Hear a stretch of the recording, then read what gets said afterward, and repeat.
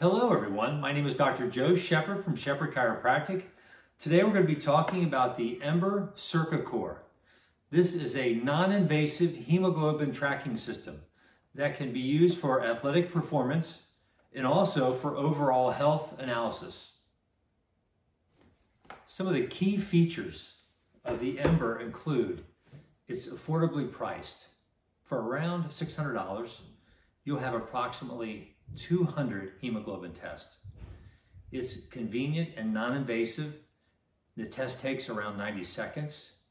It tracks your long-term physiology from exercise and dietary changes.